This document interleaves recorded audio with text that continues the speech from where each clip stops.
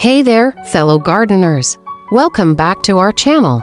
Today, we're diving into June garden tasks that will help your plants flourish. So, let's get started. First off, you'll want to prune your raspberry canes and plant out your tomato seedlings. Remember to give them enough space to grow. Don't forget to fertilize your fruit trees as well. Next, don't forget about watering your gardens two or three times a week, depending on the weather.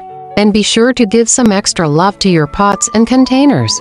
Be on the lookout for slugs and snails, especially if you've been dealing with wet weather this month. Make sure all foliage is clear from your fruit trees, it's time for them to bloom. Keep an eye on your potatoes and peel back the foliage gently once a week. You might be surprised by what's underneath. And don't forget about watering those new potato beds twice a week as well. Finally, it's time to plant out summer flowering bedding plants. They won't be happy indoors for much longer. Give yourself a pat on the back if you've managed to sow any flowers this month too. That's all for now, folks.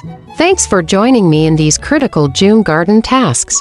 If you enjoyed this video and found it helpful, please give it a thumbs up, and don't forget to follow and subscribe for more gardening tips and tricks. Happy growing!